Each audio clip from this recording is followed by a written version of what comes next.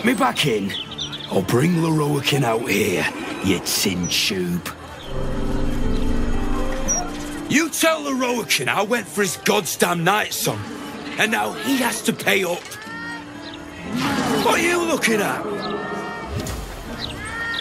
Shit, it's you. You went looking for the Nightsong after me. Please tell me you found it.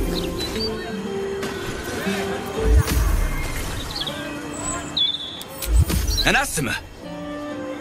Hells. If I'd known, I'd have asked for more gold. Kidnapping costs more than theft. Don't forget, I'm the one who gave you that contract. I want my cut.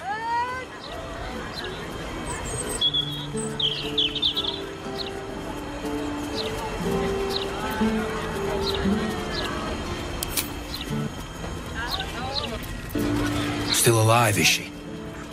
You better be telling the truth. And you better not get in my way. I'm not losing any more people.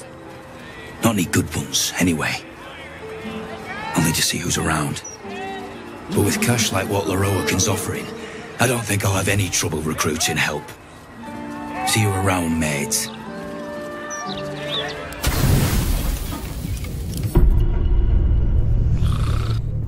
Thanks for making it easy, mate. Wish we could leave you out of it. But I can't have anyone competing for Lorroakan's prize. Let's go, Tiger. Lads, clear this place out and take whatever you can carry. After the lot of them are cold, leave the Nightsong to me.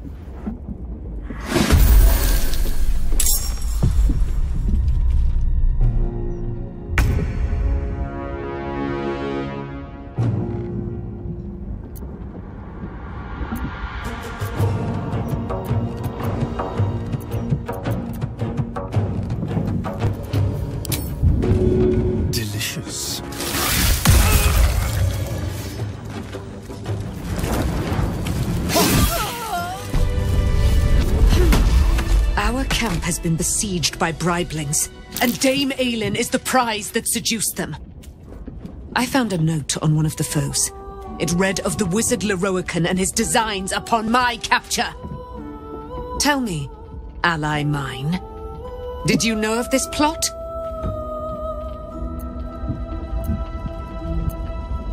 You ought to have revealed this plot before. What if a hair on darling Isobel's head had been harmed? Ah, but it is too late for whys and what-ifs. Now the conspiracy has been revealed. To Ramazith's tower they were meant to take me. Oh, won't Lorroakan be surprised when Dame Aylin trounces him in his own citadel? Let us hide to his chambers, his lair when morning breaks. We will see him undone, in the style of the dead, unburied Ketheric Thorm.